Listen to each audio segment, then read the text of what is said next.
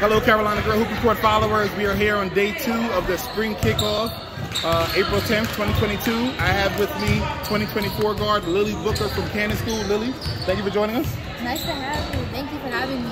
Oh, the best, the best, Lili. Great season this year at Cannon School.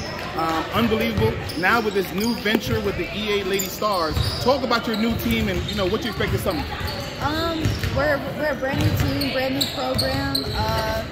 Our director's Coach G. Um, I'm just looking forward to getting out and playing great competition and just growing as a program. Really, like this is like brand new, and I mean, we had a scrimmage earlier last week, and that went really well. And I mean, it showed that we had great chemistry already. So I'm excited today to play some real competition and win some games. No, let, no. Let, us see what's really happening out here.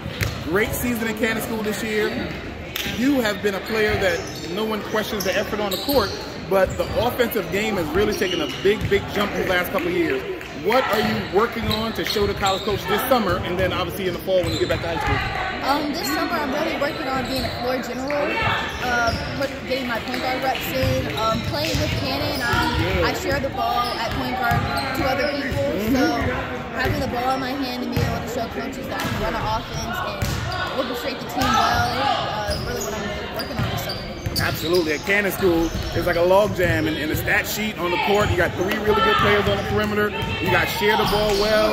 I mean, the, the, the state semifinal game I was at against North Raleigh Christian, you guys did an unbelievable job. I mean, it was, you know, you guys did do a really, really good job. Great summer ahead. Lili Booker, 2024 Cannon School, Charlotte, North Carolina. Thank you, Lili. Thank you for having me.